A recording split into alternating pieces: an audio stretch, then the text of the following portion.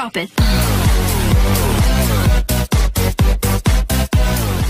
Hello again guys, welcome back again to my YouTube channel and for today's video ay may gagawin tayong um, trend ngayon, makikitrend din tayo.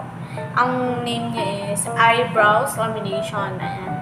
Bale, yun po yung uso ngayon. Dito yung sample ng eyebrow lamination and, and gusto ko siyang itry kasi yung aking kilay is yung ang aking kilay is medyo nakahiga siya. Meron, medyo boring siya tingnan, di ba? magdi-DIY tayo ngayon. Ang gamit kong uh, pang lamination is this one. Yung ginagamit ko rin siya sa ano, sa eyelash lifting. Ito. And ito po yung gagamitin natin.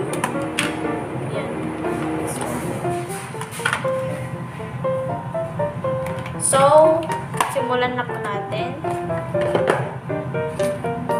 This is, syempre, linisan muna natin ang ating kilay. And naka-permanent tint, naka-temporary tint lang po ang aking kilay.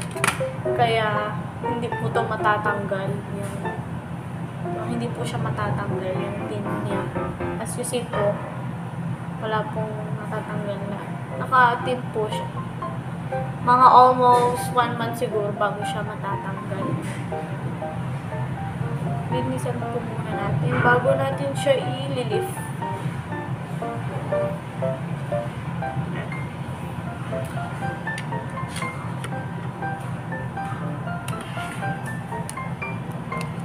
Labas na natin ang ating mahiwagang salamin. Okay.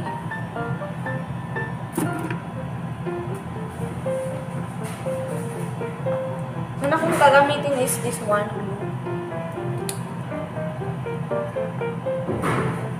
igaganon lang natin siya para medyo medyo mabuhay ang ating kilay.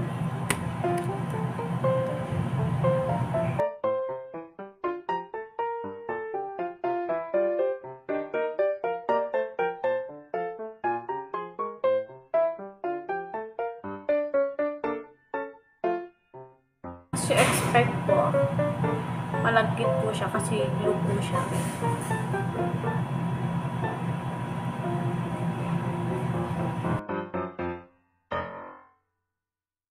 ng brush para mas maayos mas maayos sa tignan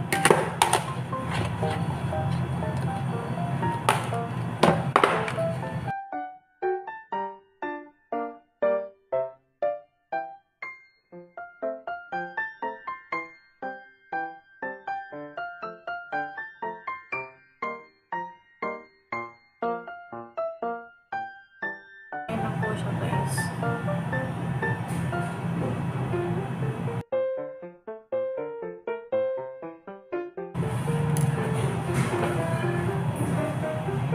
Di ba, medyo nabuhayan yung isa.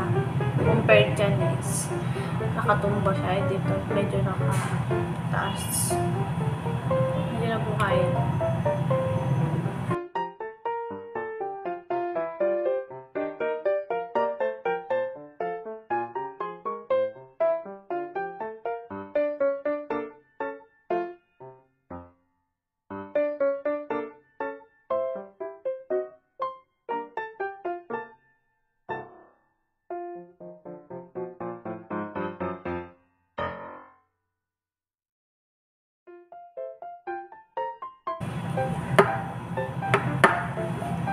And next is lagyan na po natin siya ng uh, pang perm. Perm po yung tawag doon. This one po.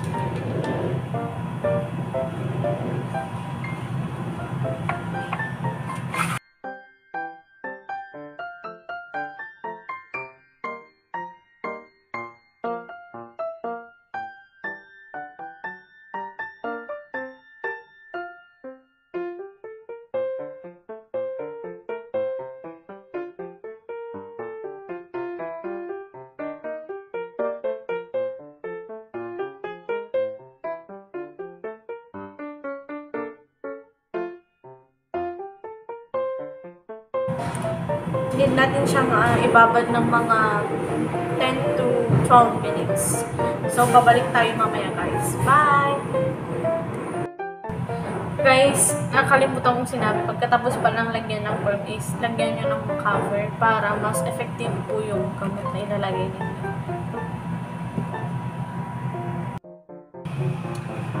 And tapos na yung uh, 10 minutes. Susunod na po natin ang paglalagay ng fixation. Hindi pa po tapos. May isa pa pong um, gamot na ilalagay po natin fixation po siya para hindi po siya bumalik sa dati niya um, dati niyang structure. Structure.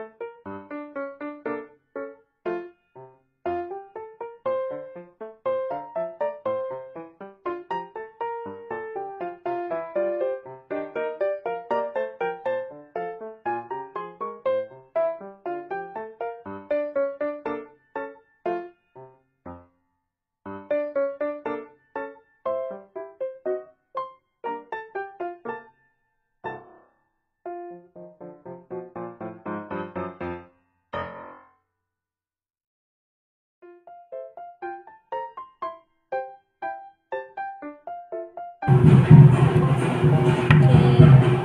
na ulit natin. Pantapat. Pasensya na po medyo maingay sa labas. May kaganapan ata.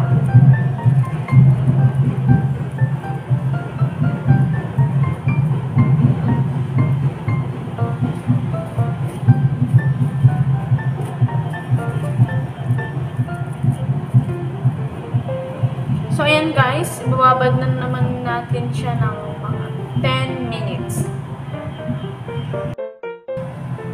So, ayan guys, i-wipe out na po natin yung fixation. Yung last na product na nilagay.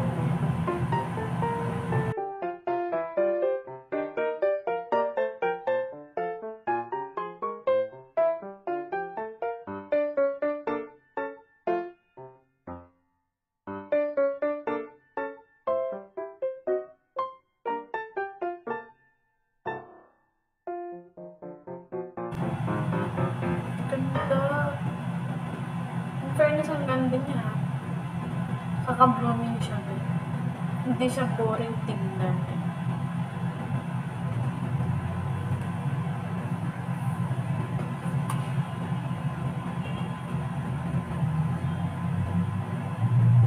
May advantage to sa mga manipis yung kilay. Katulad ko.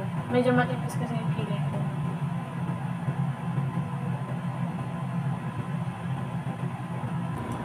And guys, ito na po yung finished product ng ating ginawang pag-eyebrow lamination. Ganda, nakaka-blooming siya guys.